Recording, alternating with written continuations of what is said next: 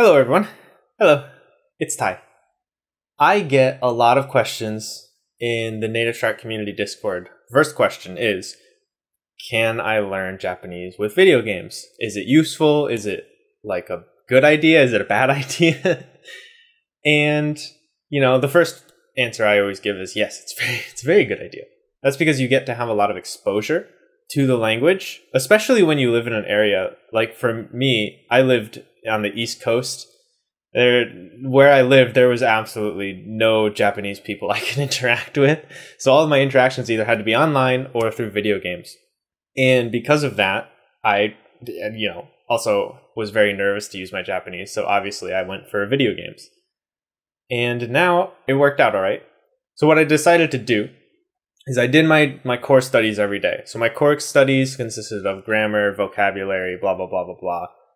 Uh, no listening, which was something I kind of kicked myself now for. But I did my core studies and then I played video games after my core studies.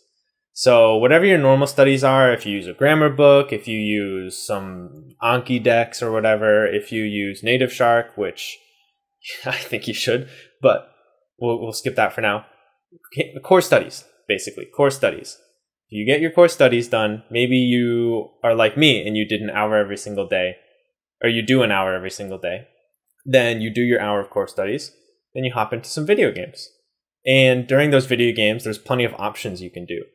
It, you can go crazy, right? You can play the video game and look up every word.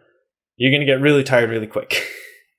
so it's fun to do. And I, re- and I don't think it's a bad idea to do it that way. But I think once you start getting tired, you should stop doing it that way for the day. So look up if even if you just add five words, add 20 words. I wouldn't go over 20. It's pretty mentally taxing to do over 20. Even add one word, two words to your vocabulary decks or whatever, which is either either on Anki or if you did NativShark custom deck. I do NativShark custom deck now because it's quicker and easier for me. But just add your vocabulary. If you can, look up some grammar points or like ask in some communities the NativShark community is fantastic for stuff like that. If you have a question on like a grammar point or a sentence you can come to the community and you can talk you can ask us about it. But basically you want to look up those words. Words are easy to understand when you don't know them. So you look up the word and then you hopefully know the sentence from there. So look up the vocab maybe add it add it in the original sentence you found it in. It's so helpful because then you have a context that you know it always works for that. So that's what i recommend for that and then after that, you can be lazy. I like being lazy. So what I would always do is I would do my however much time of studying via video games and adding words to my decks. And then eventually I'd get really tired, like mentally exhausted, and I would stop. And then I would enjoy the game. So that's why I think games that you know are the best like games to learn with there are some exceptions to this. Like for example, Final Fantasy usually, at least if you're a beginner, it's not the best. Or like Final Fantasy 14, I can't recommend it uh, for even intermediate. But if you know how to play Final Fantasy 14 and you're like you know everything perfectly and you don't have any struggles with how to play the game, I don't see a reason to not put it in Japanese. Right? You'll still get the language was really old, so you get some weird words in there, but you'll get exposure and that's why I like playing like Pokemon so much. Like I have like all the Pokemon games. I have all my Pokemon games like on, on the 3DS or the DS. This is a Japanese 3DS, by the way, because it's region locked. But play your games that you know and love, and then just do them in Japanese. And it's really that simple. Like do them in Japanese, look up words you don't know, give up stop looking up words when you're tired and just play the game. Because even when you're playing the game you're getting repetition you're getting constant re-exposure to words you already know. And words you don't know you're, you're at least warming your brain brain up to words you don't know. And then once you finally look them up like i've had so many instances where like i like there's the same words that come up in pokemon battles all the time. So i know i like don't look them up. And then when i finally get the effort to look them up i'm like oh my god it blew my mind right so yeah, just like constantly doing something like that is actually really great. And then don't worry about it. Like look up words when you feel like it, don't when you don't. And literally just do that. And as long as you're doing your core studies, you'll be okay. So, what do you do if the game is too difficult? Drop it. Play a different game. Who cares? I did this plenty of times. I have done this many times with so many games, honestly. I can't even remember how many games I've done this with. But then I come back like three months later or something, and then it's like, wow, I understand so much more. Or like come back six months later. And I think this is one of the best ways for you to check your progress because it's very obvious because you remember it being so difficult and then you come back and now it's suddenly easy. And it's a really satisfying feeling to have. So basically, those are the mindsets that I feel like one, as with learning any Japanese at all, don't stress about it. Have fun. It's not going to be fun. It's you're not going to want to do it if it's stressful, right? So don't do so don't do things that are stressful. Don't play crazy games if they have crazy language. Um, if you're really like hyper worried about what game might be good and what game might not be good for you, just go on YouTube and like type in the name of the game in Japanese. You can look it up and like find the Wikipedia and switch to Japanese. Look up a let's play of it. See if the beginning language is something you want to tackle or not, um, and then do it. So I generally recommend games for beginners, especially games that are like a little easier. Uh, like Nintendo games are really good. I have all these Nintendo games. I have like a bunch of DS games. I have a bunch of 3DS games, Wii games, Switch games now too. And all of them are just really good. The good thing about Nintendo is a lot of it is more like a casual, laid back experience, which is really good when you're learning.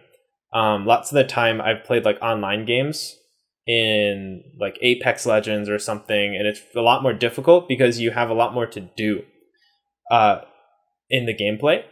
So you can't f- stop and focus on the language. But if you're playing Pokemon, if you're playing Harvest Moon, if you're playing something else, I don't know, Kirby even, if you're playing Kirby, you can pause or you can put the game down and just spend as much time as you feel like doing it, right? Looking it up.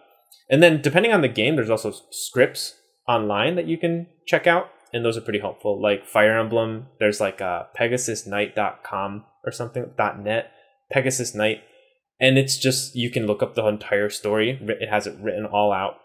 So if you're confused and like you want to look up words from there, you just copy and paste them right into a dictionary. So what I use is either jisho.org or uh, hopefully in the future, soon-ish. I'm not sure when uh, we'll have the NativShark Dictionary out, and that will be really nice to have. But right now we don't, so I use jisho.org, and I've always used jisho.org. It's always been great for me. So I would bring those and then look up whatever word I don't know, copy the sentence into my flashcards, and that's like a super easy way to get stuff. And as far as hiragana, or should I play in only kana? Should I play in with kanji on? What if I don't have hiragana? And those are pretty common questions too that I get asked a lot. And I think that the more kanji, the more kanji that you expose yourself to early, the easier it's going to be later, right? It's it's much easier to like I won't pretend it's not a wall to get over, but the earlier you expose yourself to it, the easier it is down the road, like I promise. so, I'd say just go for it. If you can get hiragana, then great. You have hiragana, the little kana over the kanji. But if you can't, it's not a big deal. I don't think. You should just uh, play it in kanji. And what you do, if you, especially if you're not really feeling that uh, strong or like confident about it, your phone is your best friend. You go to Google and you, you you open the translation app, Google Translate app. There's a picture. There's a picture mode.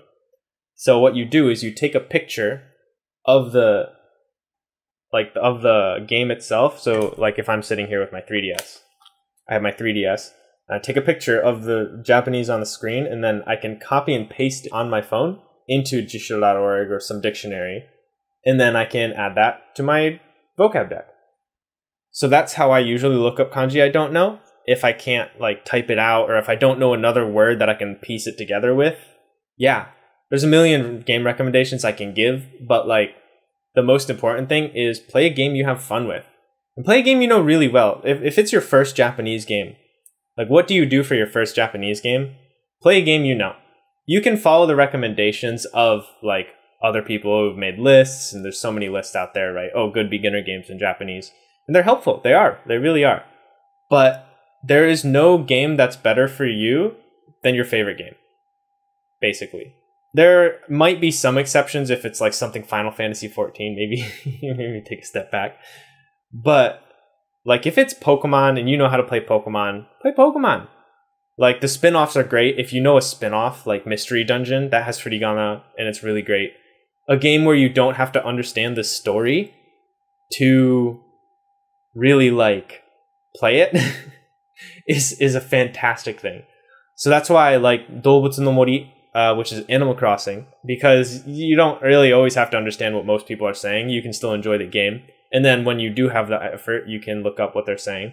And then Pokemon, who cares what anyone is saying in Pokemon? You can play the game fine. So like when people talk, you can look it up if you have the brain effort to do it, if you have the mental like and if you don't, if you're exhausted for the day, then don't. But you still get to read some Japanese while you enjoy. And then like same thing with like Bokujo Monogatari, which is Harvest Moon or Story of Seasons, depending on when the copyright changed or whatever, the companies. That's a great game for learning. And the Switch one recently, uh, Saikai no Mineral Town, came out, and that's like a fantastic game to learn with because yeah, you're gonna have to get some vocabulary, the like farming vocabulary. Who cares? It's a little bit of effort to look up uh, the first time, but all of the game, basic, almost all of the game has Furigana, so you'll be able to look it up pretty easily. And then it's like a bunch of everyday kind of conversations. Some every thing with video games, every character is going to have some sort of like language quirk, but it's such good exposure. So this is what you do is yeah, when we think about these, well, what do I do about the language quirks, right? What do I do about those? Well, you do your core studies. This is why I like NativShark so much is because NativShark has really, really natural language. And if it doesn't have natural language, it says, it shows you, it says textbook formal, textbook casual, right? So you know it's like grammatically perfect or whatever. And then the non textbook things are like what people will actually say. And if it's something that people won't actually say, we'll have like, oh, this is a scene from an anime, this is a scene from a game, and then it has the sentence. So we always have those contexts, especially. And I think that's really helpful for learning. So do your core studies and then have fun. That's really the secret to learning Japanese. I'll tell you, I'll tell you. I've been doing this for six years, over six years now. I passed N1 uh, at under four years in, like a week under, two weeks under four years. I've been doing it for a while. I'll tell you the secret to learn Japanese. Do your core studies in a way that you can maintain them, and then have fun with the language, right? Think about why do most of us want to learn Japanese? I'll tell you why I wanted to do it is because I wanted to play video games.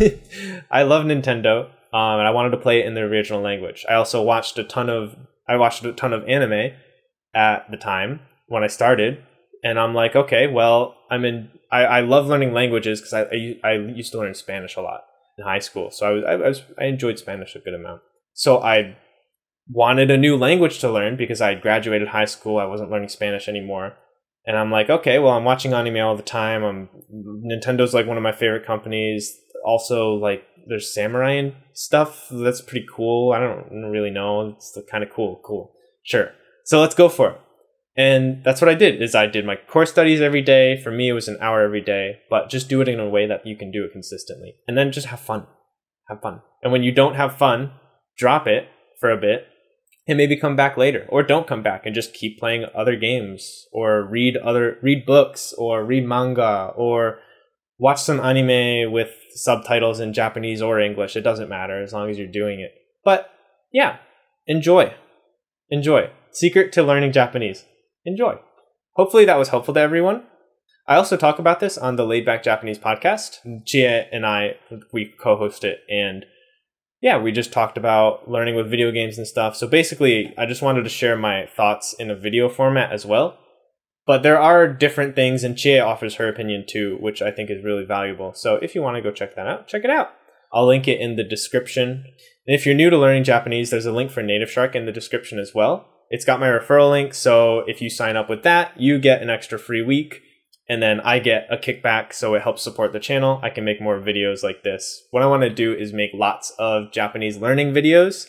And if people are also interested, I also want to kind of talk about living in Japan. Because obviously, I, I hopefully it's obvious, but I live in Japan. I got these cool sliding doors in the background. I got all my stuff. I got all this stuff I bought from like from Book Off, and it's just like, yeah, I enjoy living here.